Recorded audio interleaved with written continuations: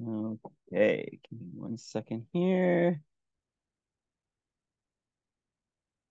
Thought I was already.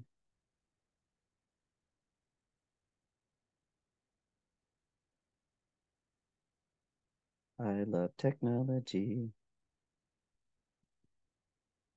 All right. Mm-hmm. We do need somebody to sing La Cucaracha while we're waiting here. Okay.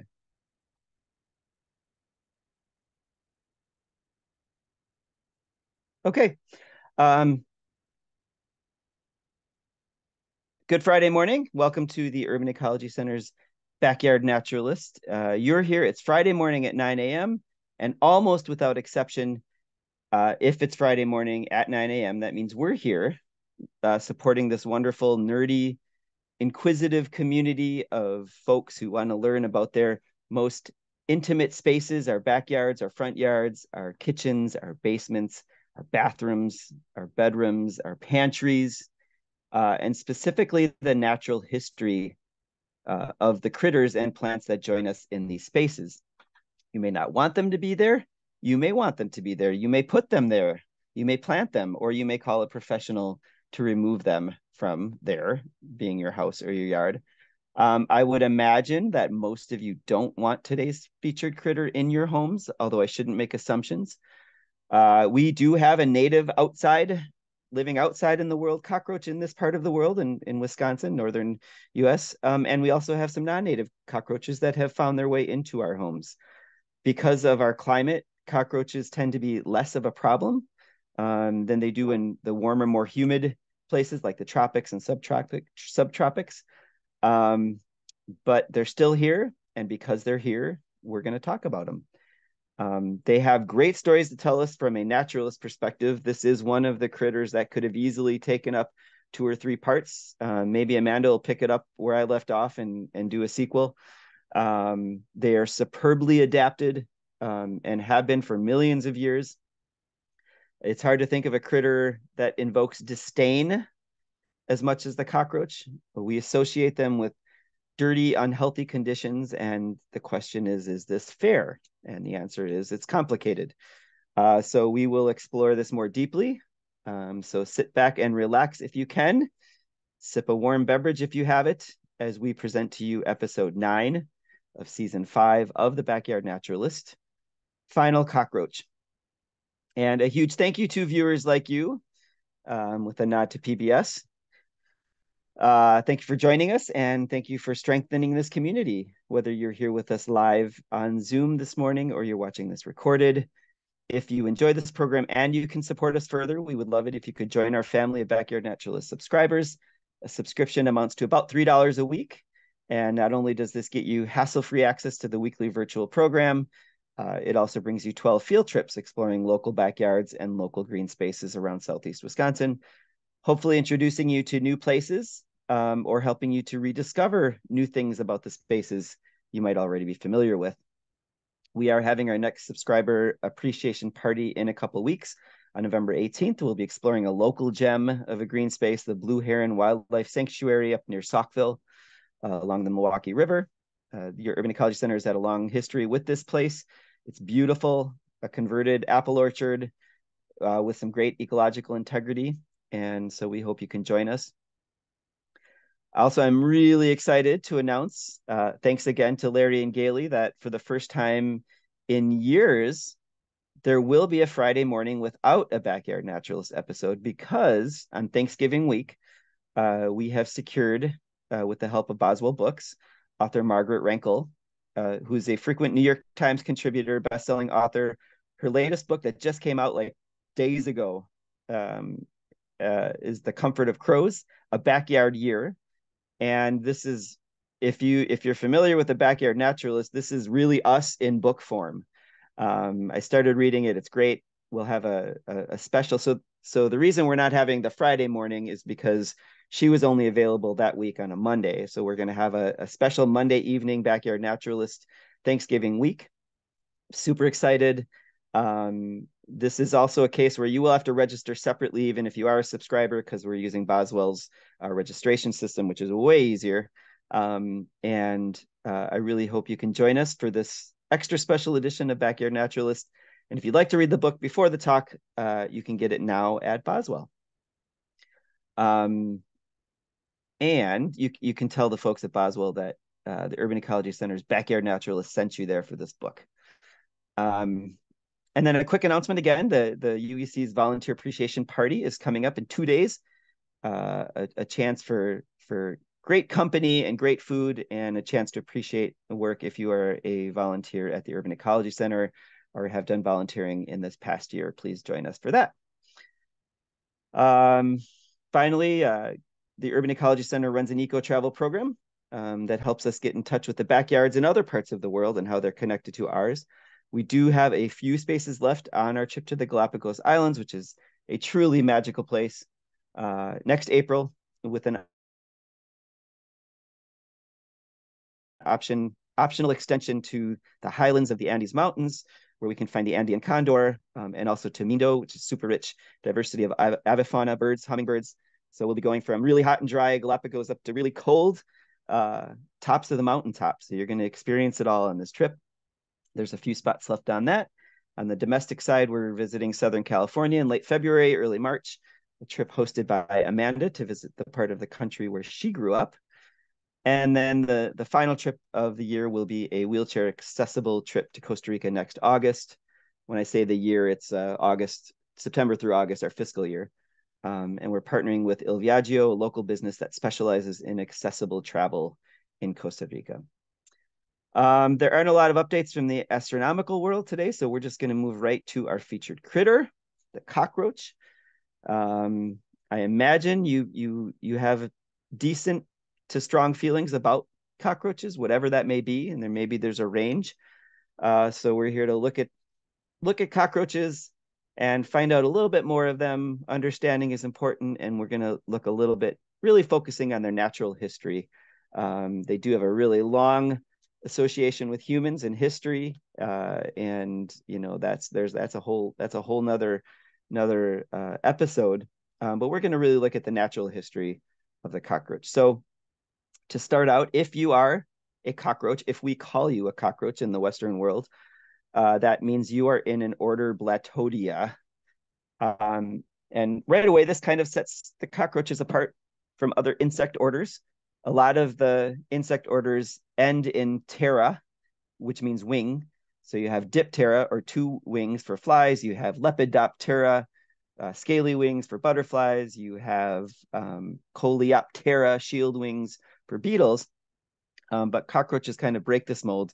They are in the order Blattodea, um, which doesn't have the most endearing sound for some reason, but uh, who am I to judge? And the name does make sense when you point out what the, the origin of the name. Blatta is Latin for an insect that shuns the light. And since cockroaches are nocturnal and they shun the light, um, if you turn on a light and the cockroach is around, they're going to shun it and hide right away. Um, there are almost 5,000 species of cockroaches that we know of. And of those, only about 30 of them have figured out how to live in human structures. So if you do the math, that's less than 1% of all cockroach species have taken up with humans. And of those 30 species that have taken up with humans, only four of them are what we would consider pests. Um, so those are the, the four that we really seem to care about. We'll meet them later. Uh, so really less than one tenth of 1% of all roach species around the world are the ones that we care about because they're hanging out in our houses and we don't want them there usually.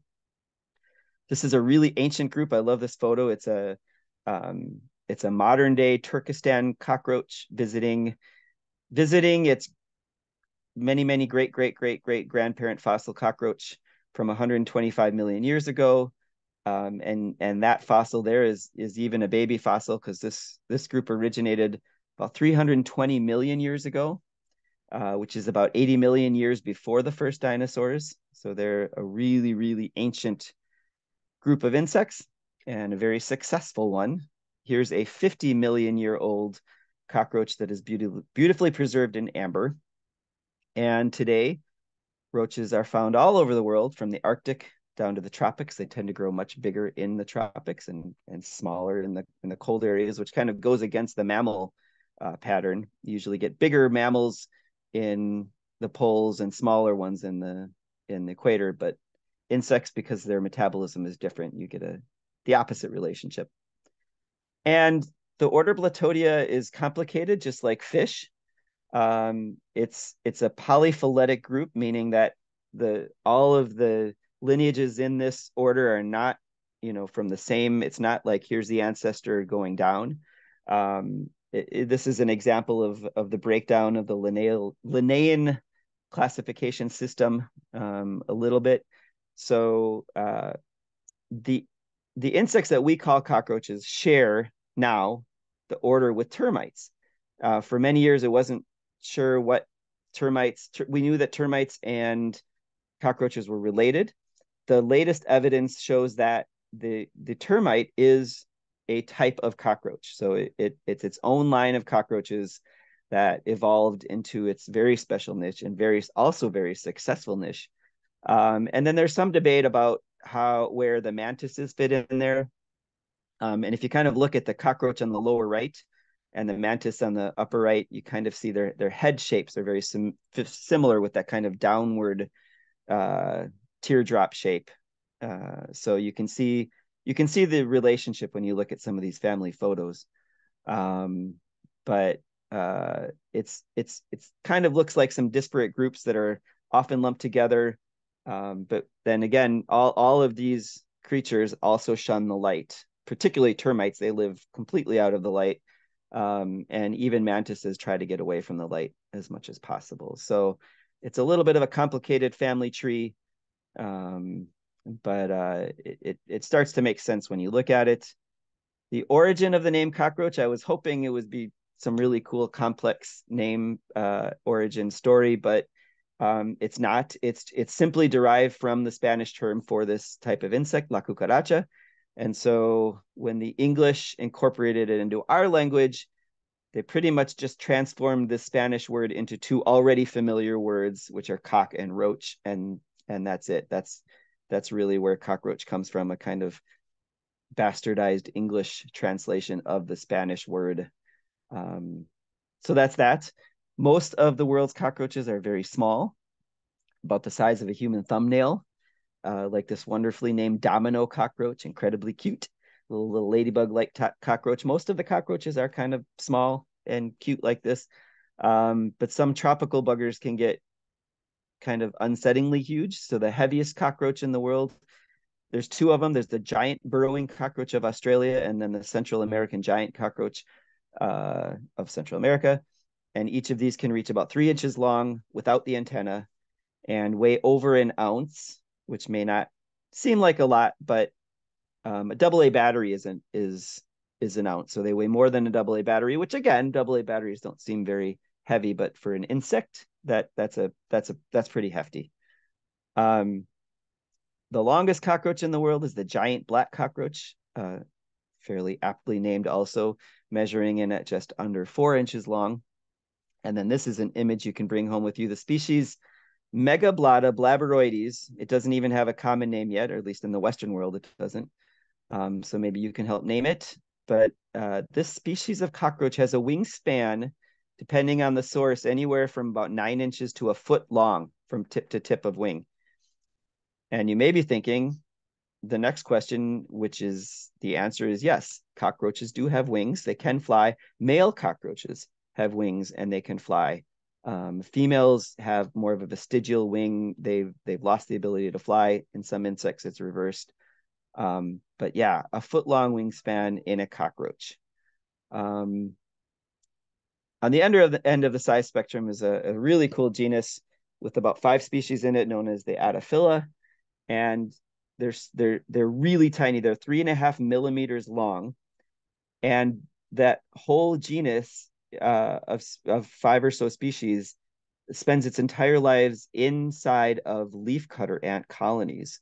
So they've evolved, they've co-evolved with the leafcutter ant colonies in a mutualistic relationship. They eat the fungus that the leafcutter ants are raising, um, and they kind of trick trick the leafcutter ants into not killing them. Um, and and it, it's it's it's evolved again into more of a, a, mutualistic relationship between the two.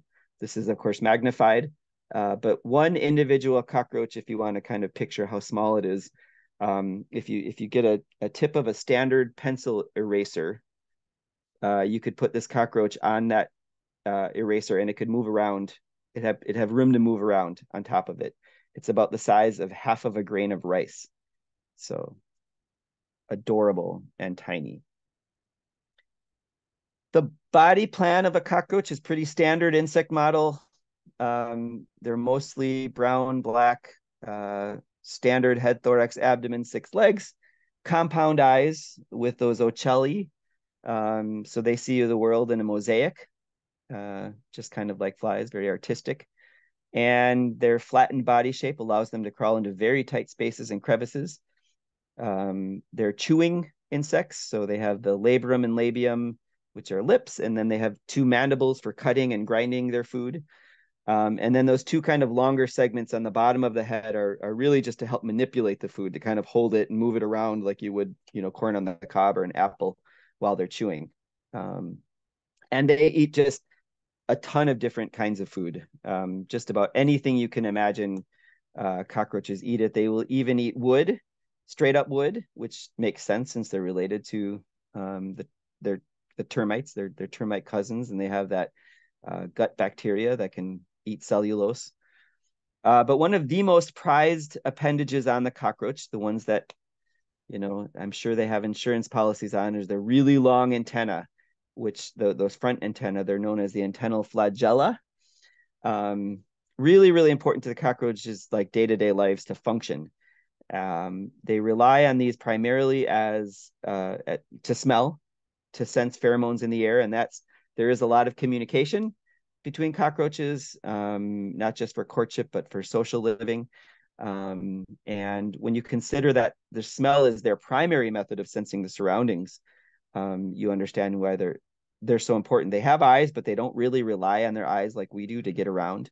The antenna is is really their bread and butter for how they sense the world and and how they react and how they get around.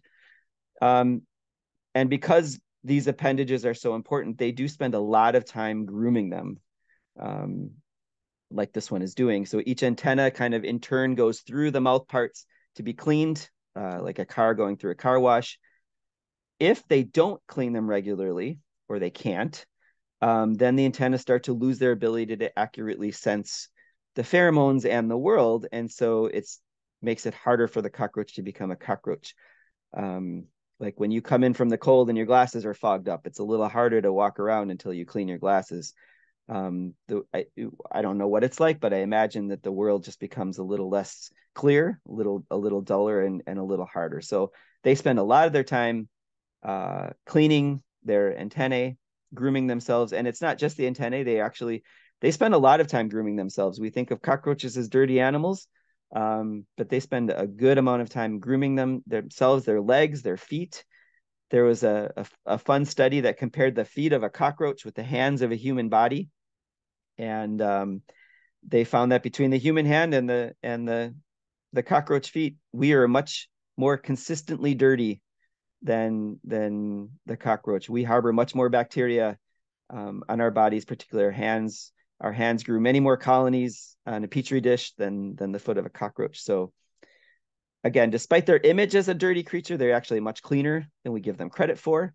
Uh, just like we found out was the case for the possum um, and the cat. Uh, so roaches spend a lot of time on their own personal hygiene. Looking from above, we we see that that kind of recognizable shield-like shape of the cockroach. They have a, a, a waxy, waterproofy, waterproofy, waterproofing exoskeleton um, that also acts as like a sheath, as like a body sheath. In in some species, particularly the ones that have evolved with humans, that that shield can withstand a lot of pressure. Um, I'm not advocating for stepping on cockroaches, but if you if if that's what you like to do, um, it, it they're they're evolving to become harder to squish um, and so that's that's kind of got that protective shield um, and again only males have wings females have like i said those vestigial wing like appendages that still have functions but they can't fly it is very rare that a male cockroach will fly. They only do it in very specific circumstances. They much prefer to to scutter around. Um, but just like beetles, like ladybugs, um, they are very poor flyers once they are airborne. So um, they'll set a course and fly, but once they're airborne, they're not going to be able to maneuver around so much. Um, so if you do have a fear of cockroaches, it probably doesn't help to know that if one is flying, it's not going to be able to avoid you. It might accidentally run into you, uh, fly into you. Um, but uh, it certainly wouldn't matter. You know, I mean, the chances of this happening are obviously extremely rare. Uh, you probably have a better chance of of winning the lottery or being a Super Bowl MVP than being having a cockroach fly into you. Um, but if it did happen, that'd be a really cool story to tell the grandkids. Uh, the legs of the cockroach are, you know, kind of spiky, but other than that, pretty ordinary uh, looking. But they actually are one of the one of the many adaptations that make cockroaches so successful. So first, they're fast. Um, their propulsion system uh, sets them out at about three miles an hour, which does not seem like a lot. We can walk at three miles an hour. But then when you think of how tiny this insect is, three miles an hour is a lot. If it they can run a distance of 50 times their own body length in one second. Um, and if you translate that to humans, that's a human running at 200 miles an hour. So this is like World War Z zombie fast. Um, uh, they're, the, and and partly because they're so fast, it's I think it's one of the reasons we don't like them. I think we like when we see something, we like it to not be able to just move in a way that we don't want it to. We kind of that makes us a little uneasy.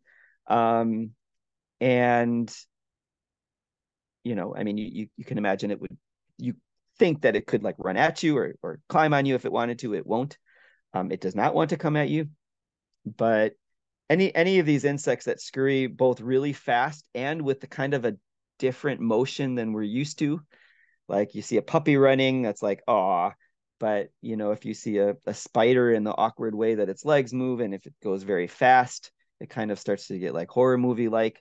Um, and so the the cockroach has kind of the best of all the worlds to make us creepy. So first of all, those legs can go back and forth extremely fast 27 times in a second. It's just almost like we're starting to getting into hummingbird flapping territory here. 27 times in a second each of those legs moves back and forth. And then they also have an up and down motion uh, similar to the the insect that won't be named that has 100 legs um, it has that up and down and back and forth motion which really allows it to scurry fast over uneven surfaces. Uh, and when you combine that up and down very fast left and right with its speed, that's what gives us the creeps. Um, each each leg is mirroring the opposite leg, kind of like a four wheel drive. Um, uh, they are also very good. They have little little kind of grappling hooks at the end of their uh, legs, which allows them not only to move quickly over rough surfaces, but allows them to move of very smooth surfaces. So they are able to climb up your wall, climb onto your ceiling, which then of course puts in your your head the image of them falling into your mouth while you're sleeping. Don't worry, they're extremely agile uh, climbers, and they are not going to fall into your mouth. Um, uh, but and another thing that's kind of crazy is that so the back legs are really for propulsion. They're really moving forward. The front legs are kind of stabilizing and really for braking, so they can also brake on a dime. Um, and then the middle legs are kind of like a combination of both acceleration and braking. But if they really get going fast, uh, they actually they actually those front legs just kind of come off the ground and they're still moving, which makes them look creepy. But then at some point, like the Jesus Christ lizard that runs on water, uh, you can get a cockroach at full speed just using its back legs like a human. Again, getting into that kind of horror movie era of of, of creepiness. Um, but it's it's an adaptation that served them really well for millions of years, um, and it just it just makes us creep out. And um, those kind of accessory spines that are uh, around each each leg were initially thought to be sensory um, but now again, it's it's really thought that that's just more of a way to to navigate terrain along with the motion. Um, so you know, cockroach legs are studied by engineers um, to help design better airplanes, better robots, uh, and it's just a a very successful design. And then finally, the last important piece are those the two rear end appendages, which are called cerci, uh, and those are extremely sensitive um, particularly to air pressure.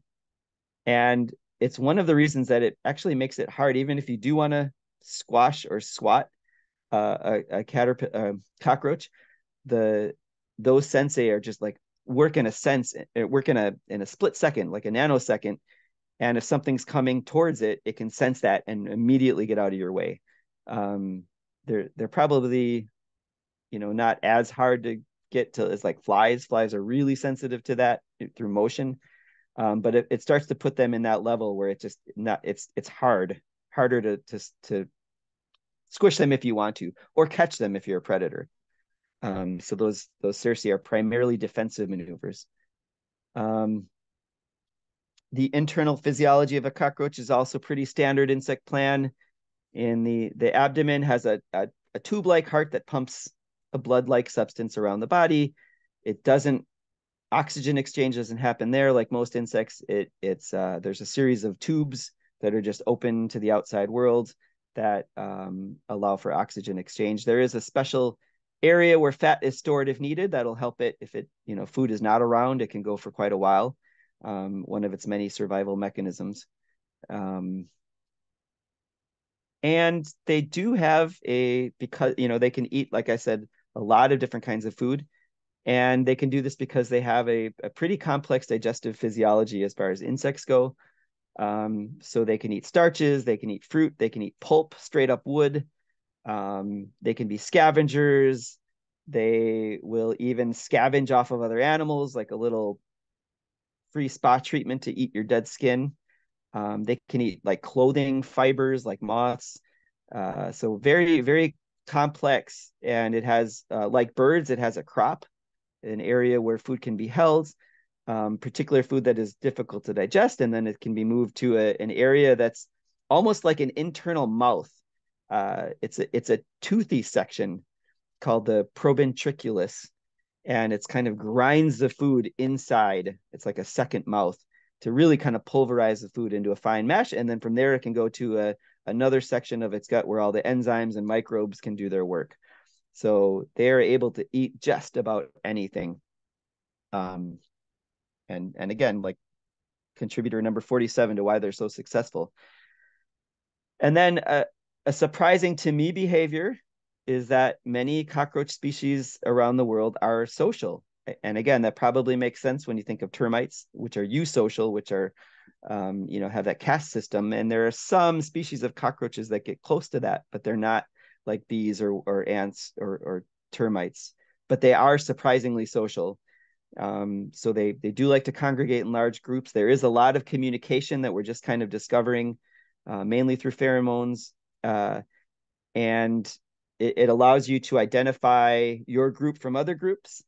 Um, in some cases, it allows you to identify your personal relatives, your your your parents or your your offspring.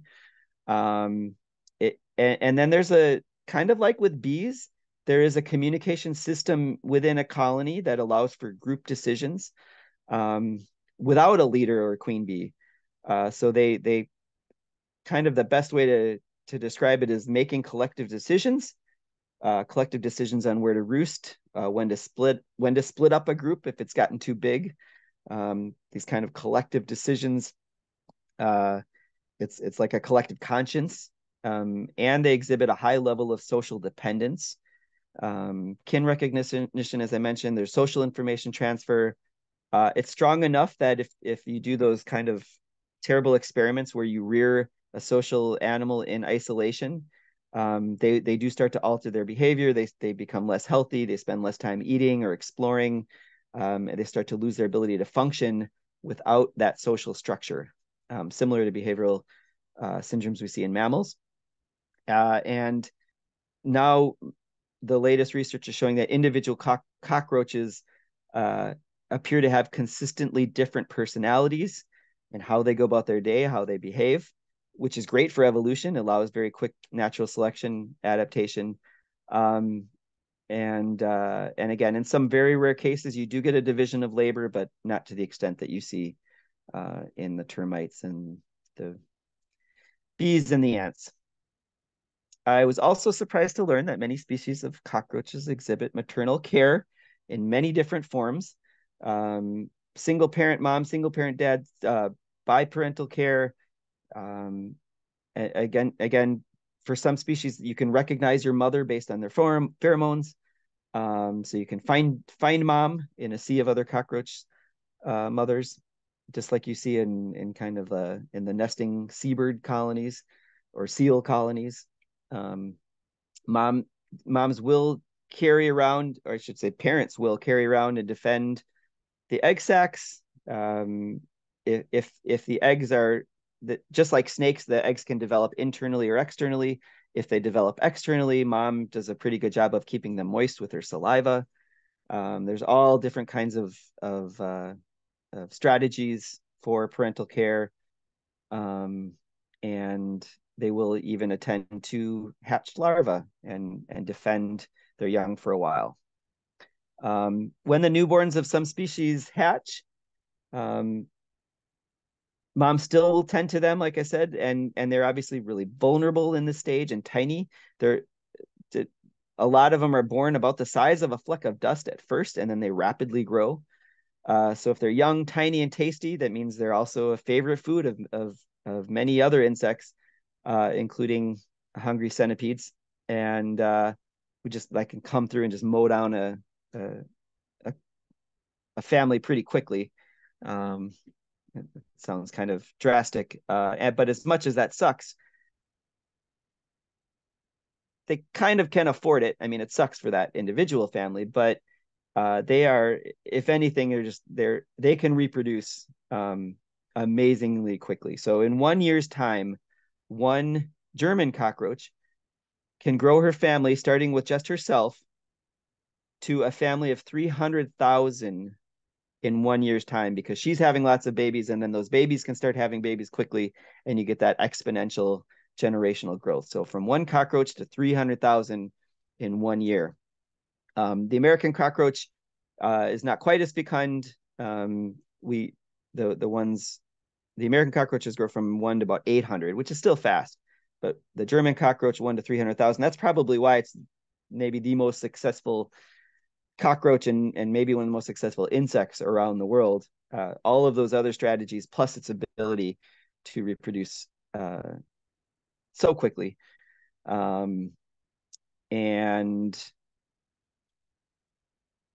before all the baby production, there is another kind of soft and gentle side of the cockroach. Many species have courtship. So, according to the again for a lot of these creatures a lot of these creatures a lot of the information comes from pesticide websites. Um, so from the orkin website as told by um, josh and, and chuck at, at the stuff you should know podcast uh, they say when when mama cockroach is in the mood she will raise her wings and expose her internal membrane and her expanded genital chambers and will release a very powerful pheromone. Any male that's anywhere nearby will use their high tech antenna to triangulate and find that female very quickly.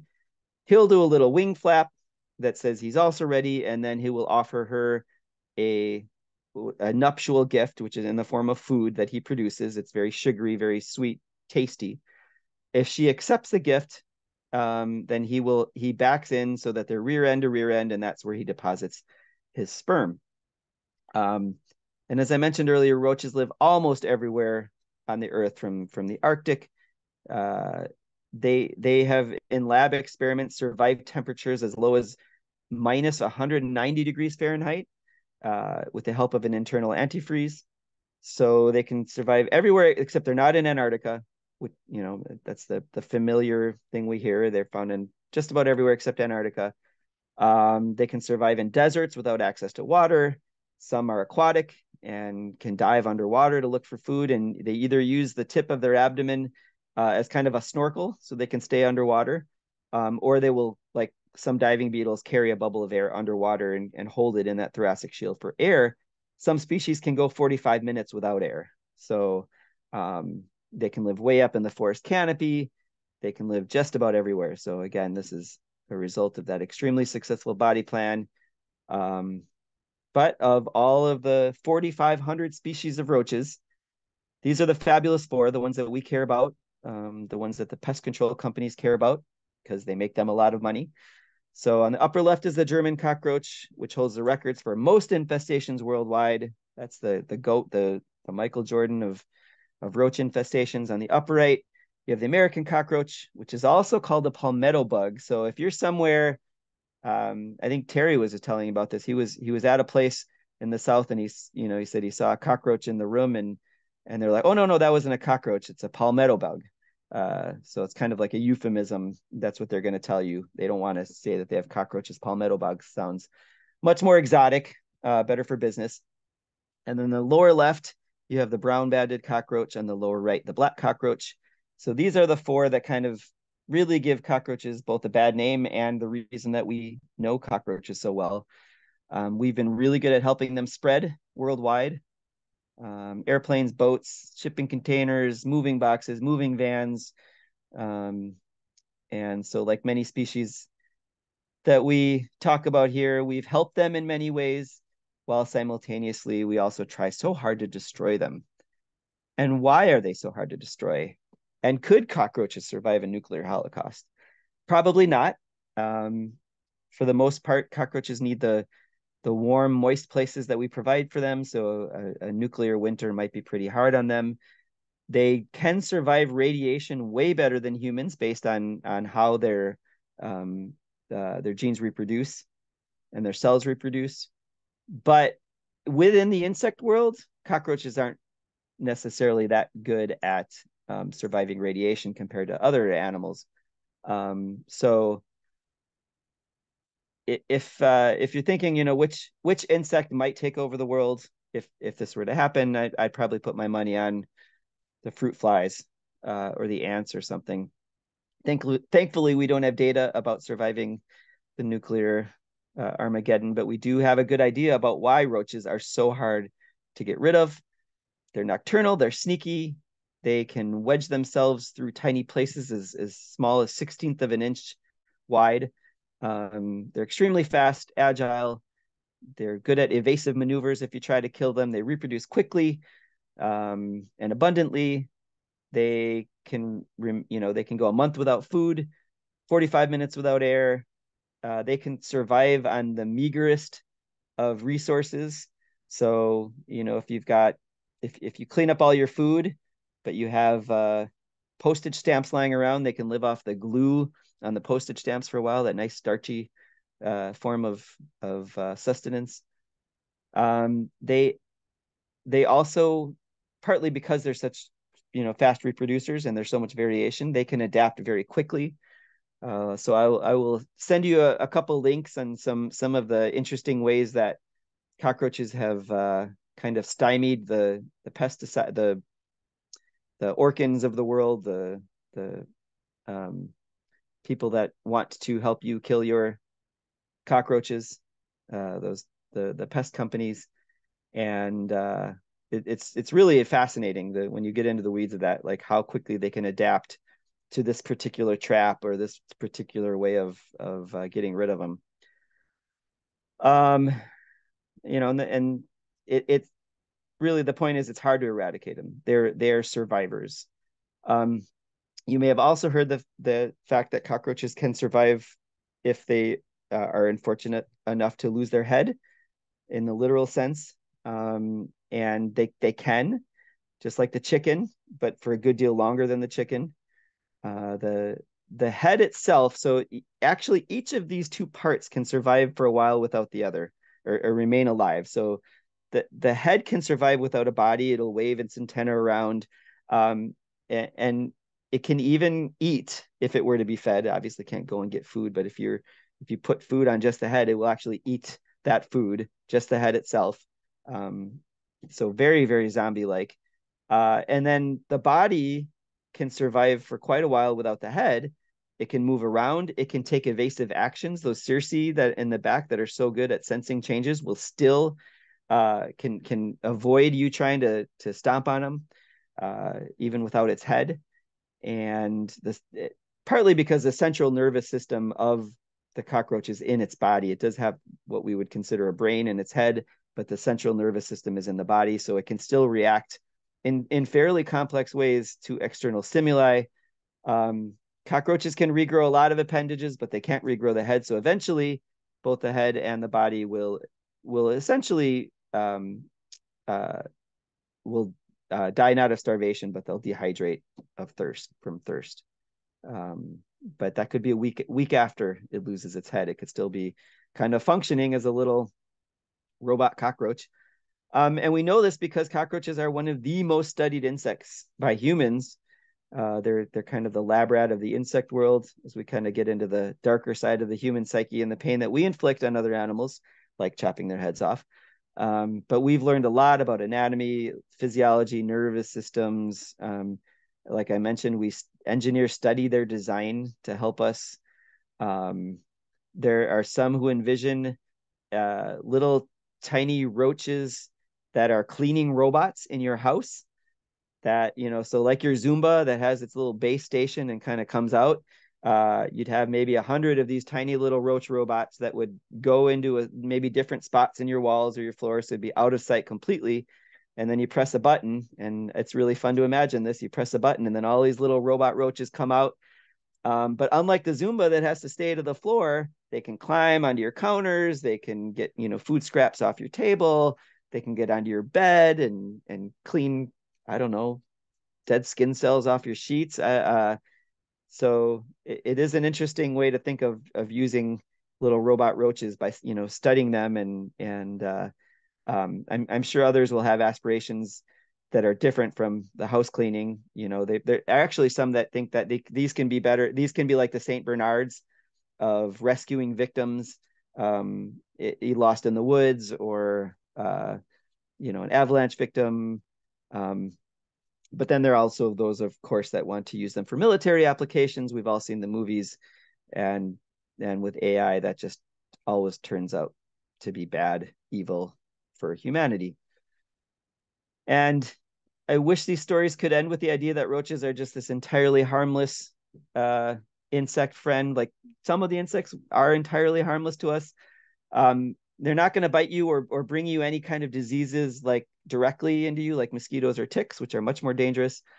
Um, if they're living in your pantry and eating your food or your pet's food, they they may leave an offensive odor that you don't want. Um, but when they scurry across surfaces, they do leave a pheromone trail. So remember, they they really navigate their world with pheromones and smells. And so this is like the Hansel and Gretel with the breadcrumbs. Um, and they do leave a little trail, and it's within that trail, kind of a, a much cleaner version of the slime trail that slugs leave.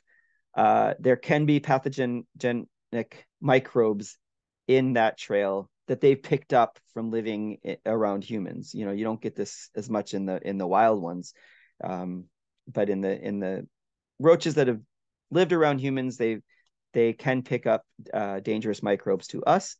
Um, it's usually not that bad. It can be bad if it's in a place like a hospital that needs to maintain, um, you know, septic conditions. Uh, it can also be a powerful uh, allergen to humans. So you, if you have cockroaches living in your house, you can be allergic to them. Um, and, and sometimes they'll exacerbate other allergies. They can be linked to asthma. Uh, they can make allergies to like shrimp or, or dust mites worse.